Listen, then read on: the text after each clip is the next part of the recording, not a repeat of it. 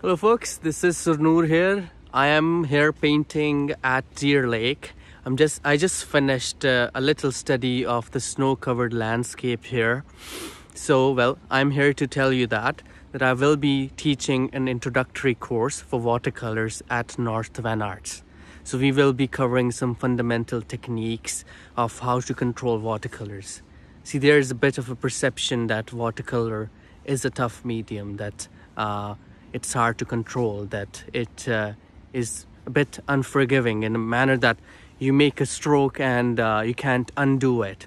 Well, that's true. It's it's hard that way, but it's also true that it's uh, very fun to work with once you uh, know the ins and outs and the techniques of how to handle the color and how to handle the moisture on the paper and how to build up layers.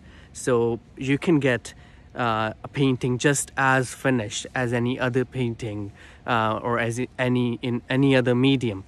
So we will be learning these techniques and uh, as uh, my teachers taught me and uh, as they shared their knowledge to me, I uh, vision to share my own knowledge that I've gathered over the years about watercolors with you all.